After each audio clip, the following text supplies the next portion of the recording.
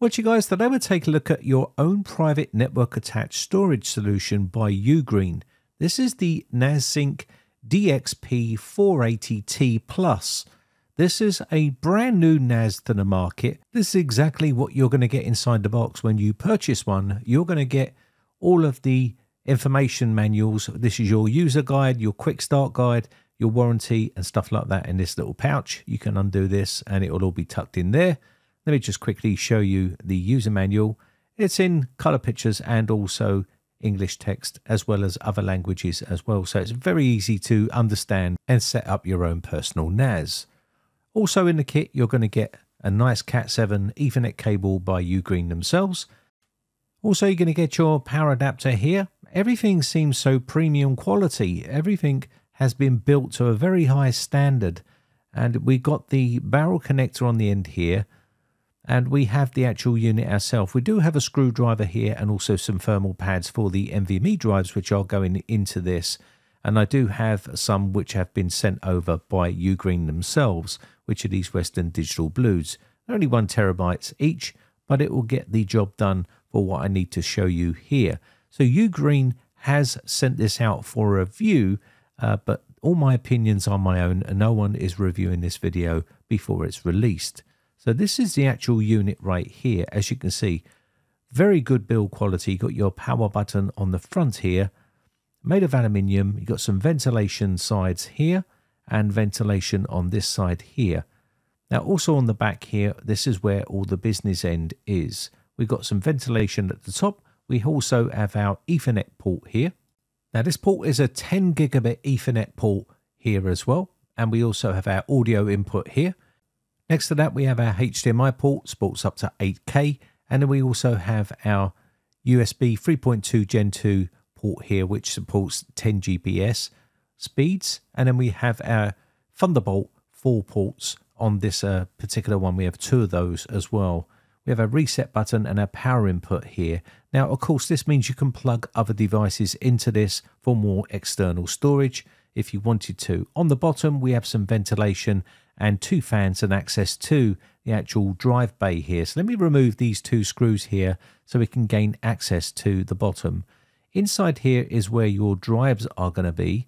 This is a metal plate here and this will press down onto a thermal pad onto the actual drive itself and it will act like a little vacuum chamber in here blowing air across these to keep them cool with these two fans here.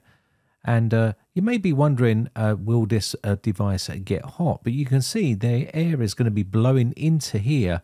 And this is where we're going to end up with a nice little vacuum chamber building up in here to keep the actual drives nice and cool. Plus they're going to have thermal uh, pads on them. And plus they're going to be pressing up against that metal, which is also going to help dissipate heat inside this actual device. So things should run pretty cool here. We have room for four drives here uh, there's no other drives you can add in this apart from these four uh, NVMe drives. I'm going to put in these four one terabyte drives here. Obviously, you'd be using a lot more storage than what I'm using here. This is for tutorial purposes. But it does say you can have up to four terabytes times four on their website. And you can run these in JBOD uh, basic RAID 0 or RAID 1, RAID 5 or RAID 6 or RAID 10 depending on what you want to set it up as. So I'm going to go ahead and screw this down and we'll also put the thermal pads on here and then we can then start to think about uh, setting this device up. Now the power in this is a, a Intel 1235U and this is a 12th gen Intel Core i5 10 cores 12 threads. Now it comes with 8 gigabytes of DDR5 and this can be expanded up to 64 gigabytes of DDR5. Now this does have flash memory system disk inside and I'll show that a little bit later on which is 128 gigabytes but we can take a look at that once I take the unit apart so you can see inside. So let's go ahead and get the thermal pad on here. I'm just going to stick these down on all of these. I won't bore you with this process. I'll just quickly show you one of these so you get a general idea of what I'm doing here. So I removed the plastic on the bottom and then you have to just remove the plastic from the top and that will be the thermal pad on top of the memory here. And this is going to press up against the actual um, metal plate here, which is going to help dissipate the heat on these NVMe drives. So I've now gone ahead and put the thermal pads on all four of these and you can take a bit more time putting these on a bit more nicely but we're going to go ahead and put this down on top here. So once this is pressed down here you can then put the two screws back in and we're ready to put in the ethernet cable and then we're ready to put in the actual uh, power for this so we can power the unit on. Now you can set this up via a mobile app if you wish or you can set it up on your desktop I'm going to be using the desktop method, but you can choose whatever method you want to set up your NAS.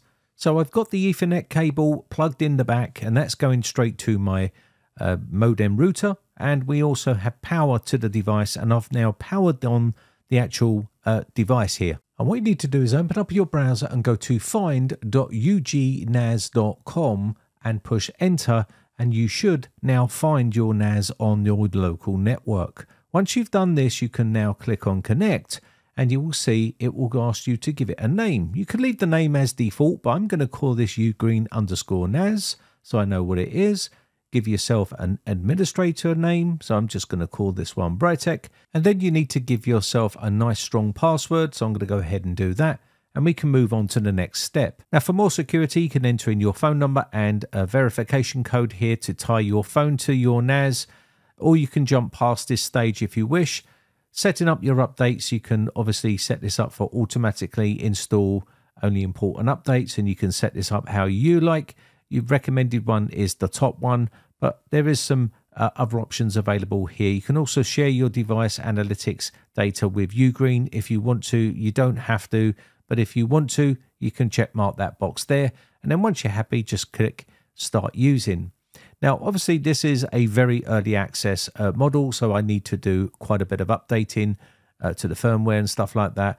And that way, uh, I will be able to show you what I can do here. But first off, let me go ahead and use the management here to set up the drives. So you've got all your usual stuff you would have on any other NAS. You're going to have all your update and restore, all of your control panel, your storage management. And again, I'm going to set this up one up here uh, to create our RAID. So let's go ahead and I'll talk, talk to you about how to set this up.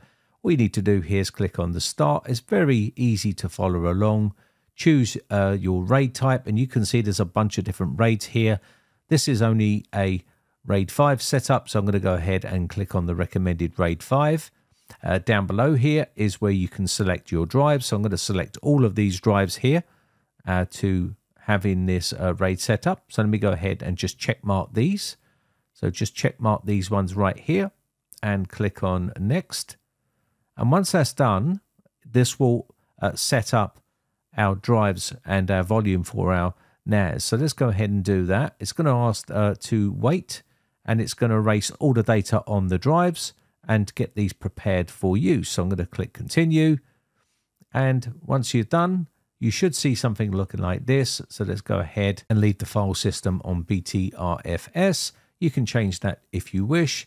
And we're leaving it as the maximum storage space available. Then we're going to go for the next step. Don't worry about the Chinese uh, writing up here. That's because I haven't set up uh, the actual format inside the settings. And I will do that after this uh, update here. So let me go ahead and put my password for validation here and you should see something looking like this once it's all done. It's in sync and we're now working with our NAS. So from here, obviously you can create users and start uploading content to your NAS. You can sync your phone to it.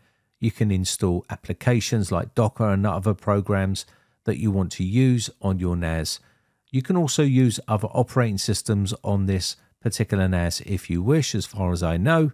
That may change later on, but I'm sure at the moment you can install other operating systems instead of using Ugreen's own operating system if you wish. But at the end of the day, it's a pretty decent operating system that Ugreen have here. And like I've said, you can also use the application for your mobile phone, works on Mac OS, Windows, web, and also iOS and Android. So if you want to run it from there, you can do. And you can also log on via your desktop PC. Now, Ugreen are completely new to the NAS market, but they are doing plenty of different models for you to choose from, whether you want mechanical drives or NVMe type uh, NAS storage. They do plenty of different ones here. Very large storage devices The ones I've got is the one in the middle here, but they have a 2 bay here, 4 bay, and they also have 6 bay, and also they have an 8 bay. So depending what your needs are, will determine which one you go for. And they have a 35% discount because all of these are still in Kickstarter right now, but they are going to be released and they're still updating uh, the apps on these and some of the settings and the firmware on these. So what you're seeing here is quite an early access. And also you can see the pricing here will change depending on uh, Ugreen and when they release them. So as you can see, there's plenty of different uh, specs to choose from and loads of applications will be coming real soon. Now this is just an overview video of this product. We'll hopefully revisit this uh, product later on down the line and I'll show you some of the other things. Let me know in the comment section below what you want to see with this particular NAS and I'll be happy to make those videos for you. But if you're looking for a NAS that's built really well and has pretty high specs, then something like the Ugreen uh, NAS is a pretty good option. This is the DXP480T Plus, but they have a bunch of other ones available if that's something you're looking for. Just rolling up here on the screen so you can see some of the specifications here. I've already gone through some of this in the video, but I just wanted to show you the Kickstarter page here. Now, what I want to do also is show you inside the actual unit itself and I've also now updated all of the firmware so we have the very latest firmware available for this model. And I've set up all the language and uh, all my preferences the way I wanted them so it looks exactly how it should do now. Uh, and this was how it would look when you purchase one of these. It will be delivered to you exactly like this with all the latest firmware. So you can see we do have a control panel here and there'll be more added to this at a later date more than likely and there'll be more features being added to this all the time because it's still work in progress. But here is the about page. This gives you all the specifications for this particular unit. It tells you what uh, system version we're running here, and it also tells us the capacity of memory and everything else here. You've got all your system restore and reset, configuration and backup and restore right here. You've got your hardware and power, all your time and language, and also networking settings right here, your security and stuff like that. So just as you would with any other NAS here, this is where you can change all of your language to whatever you need here. And this is where I changed it. And I also changed the system uh, language back to uh, English here. But you have all your buzzer and fan control and LED lights here. You can control all of that inside here. You got your UPS here as well. And again, you've got all your usual stuff like Task Manager, or your terminal, and also uh, Universal Search File Manager and storage manager and things like that. You've got your applications as well. Let me just show you the task manager here so you can see the actual CPU temperatures a pretty decent 51 Celsius right here. And again, it's working away in the background as well. We have our GPU right here, memory, utilization, used, shared, and also cached. And we also have our network here as well as hard disks and volumes. So you can see here, pretty much uh, dormant right now because we're not doing anything but there's the volume.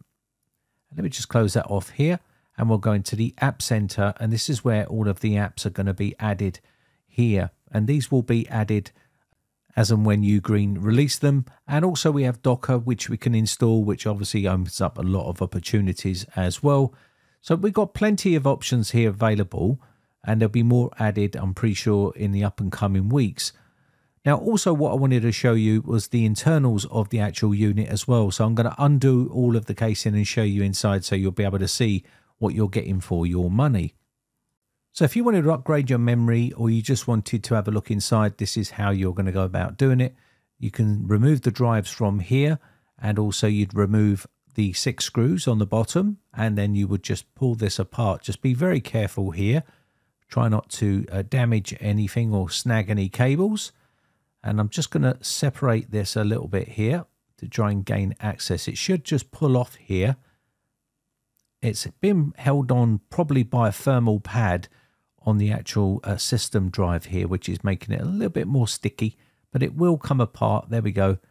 And there you can see the thermal pad right there, which was holding down the system drive. So there is the system drive there with the blue thermal pad on it. That's where your ins installation is of your operating system. And we also have the RAM slots there where you can add more RAM in if you wish. And we've got our drive bays here, which obviously will be covered once this cover goes back on. You've got your Wi-Fi card on there as well. And this is where your RAM is right here. So you can upgrade this up to 64 gigabytes of storage. And I'll remove the board here so you can see on the other side where the CPU is and stuff like that. So pretty good uh, build design on this particular model. So let me try and uh, remove this board here. This should just lift up because I've removed the screws and there we go. It is lifting up so I can just tilt this up so you can see underneath here. There is a little Wi-Fi antenna cable here which you need to be a little bit careful of. So I'll just put, pry this up. There we go. And there you got that heatsink there with copper pipes on it to keep the CPU nice and cool. And you can also see all the other components there. So a pretty well nice designed board here. Anyway, I think that's going to be about it. If you want to see more on this, let me know in the comments section below. This is the DXP480T Plus by Ugreen. My name has been Brian from briteccomputers.co.uk. Just want to say a quick shout out to all my YouTube members who joined my YouTube members group I really do appreciate the support, whether you're tier 1, tier 2 or tier 3. I really do appreciate it. Also, I shall catch you on the Discord server chat or I'll see you in the next video. Bye for now.